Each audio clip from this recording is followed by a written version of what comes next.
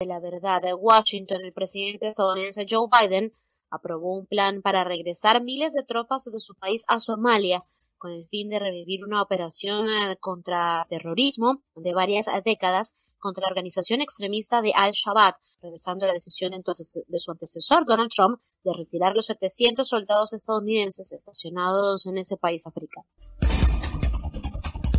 Tel Aviv, la Oficina Central de Estadística de Israel, informó sobre la contracción de la economía del país durante el primer trimestre del 2022 a causa de la reducción de las exportaciones del gasto privado y público, resultado generado tras un robusto 2021 en materia económica.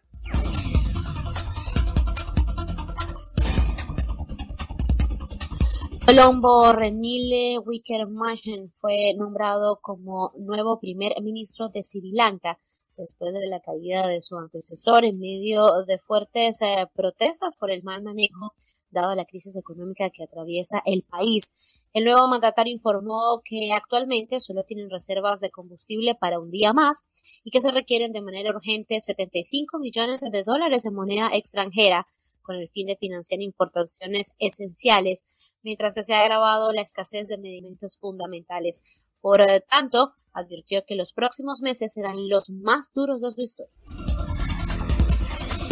Pekín, las autoridades chinas informaron que la cuarentena total que rige en la ciudad de Shanghái buscando contener el brote de la subvariante Omicron del COVID-19 que allí se presenta, llegaría a su fin el próximo primero de junio. Pyongyang, medios oficialistas de Corea del Norte informaron que actualmente hay en el país más de un millón de casos de una fiebre que golpea a la población y por lo tanto, y por lo menos 50 personas han muerto. El anuncio viene días después de que el mandatario Kim Jong-un comunicara sobre la detección de los primeros casos de la variante Omicron del COVID-19 en su territorio, en el que la población aún no ha sido vacunada contra la enfermedad.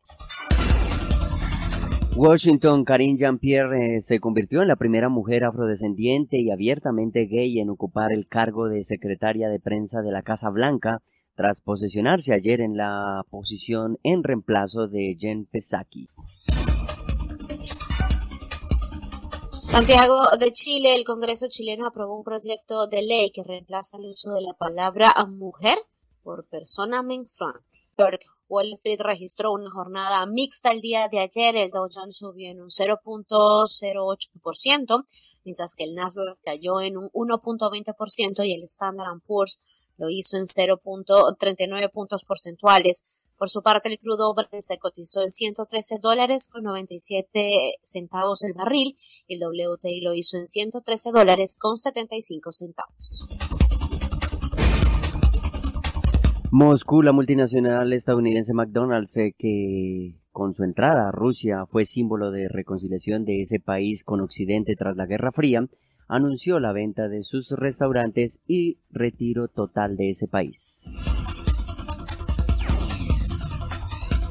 Estocolmo, la ministra de Defensa sueca anunció que se espera que su país solicite formalmente en los próximos días el ingreso a la OTAN, motivados por la invasión de Rusia a Ucrania. Por su parte, Rusia afirmó que no aceptaría la expansión de la OTAN fomentada por Occidente y que la decisión sería un error que incrementaría las tensiones militares en el mundo. Moscú, el gigante financiero Sberbank de Rusia, anunció la renuncia de uno de sus vicepresidentes, el más reciente directivo, en abandonar el banco desde la invasión de Rusia a Ucrania. Londres, oficiales del Reino Unido informaron ayer que Rusia ha perdido alrededor de la tercera parte de las tropas que envió a invadir Ucrania. Adicionalmente, sus fuerzas no han logrado capturar ninguna ciudad de la región del Donbass, diferentes a las que ya controlaban en febrero al inicio de la operación. Expertos agregaron que la moral dentro de las tropas rusas es muy baja, mientras que sus pérdidas han sido muy grandes. Se estima, como ejemplo, que las bajas rusas la semana pasada mientras intentaban cruzar un puente que fue destruido en Donbass por las fuerzas de Ucrania fueron superiores a los 400 soldados muertos o heridos.